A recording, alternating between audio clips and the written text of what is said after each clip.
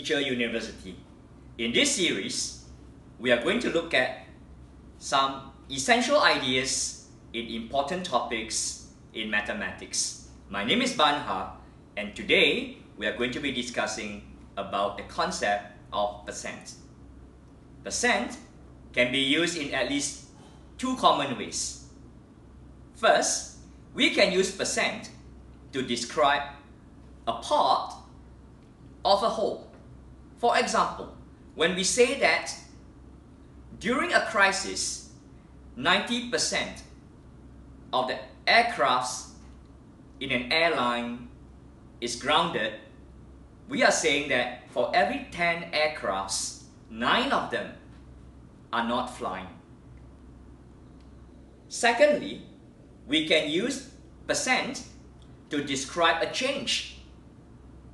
For example, if we say that 90% of the flights are cancelled because of a crisis, what we mean to say is before the crisis, there are so many flights, and when the crisis happened, every 10 flights that used to happen, nine of them are no longer happening. That's a second way we use percent. Let us look at some examples. A second use of percent is to describe changes. For example, here the number of items sold, say in a shop, over a period of several months is shown using a picture graph. We can see that the number of items sold increases from January to February we can see the amount of increase. That amount of increase is this much. How do we describe this much? One of the ways to describe this amount is to say that it is a certain percent of the amount sold in January. We can see clearly that that is 50% of the amount sold in January. So we can say that from January to February,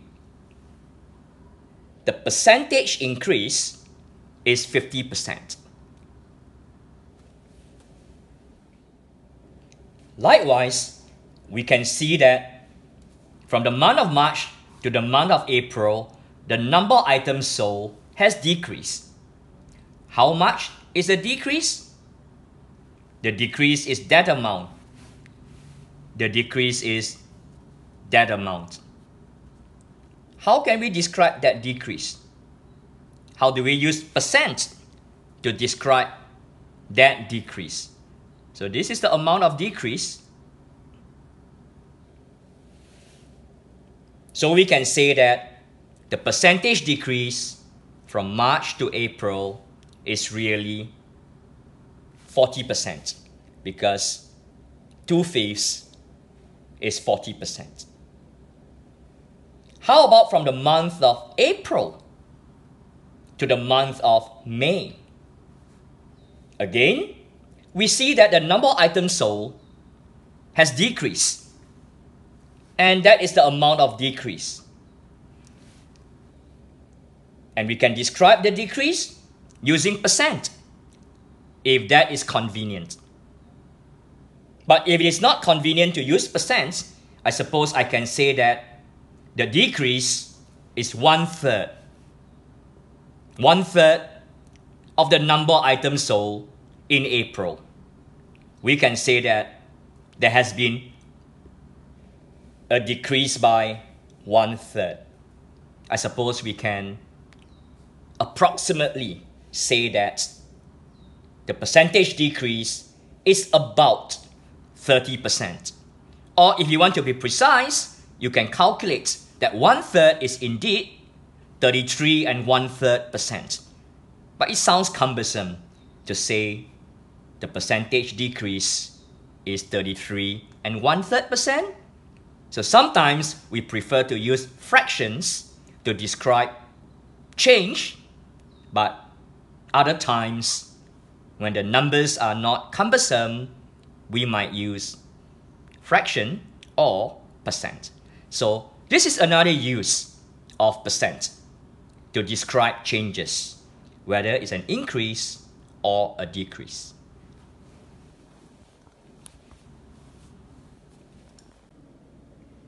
In this video, we look at another use of percent to describe increase or decrease.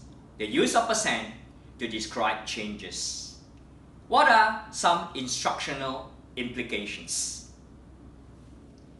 So students must realize that if this is the amount before and this is the amount after, they can see that the amount has decreased. And this idea is not new to them.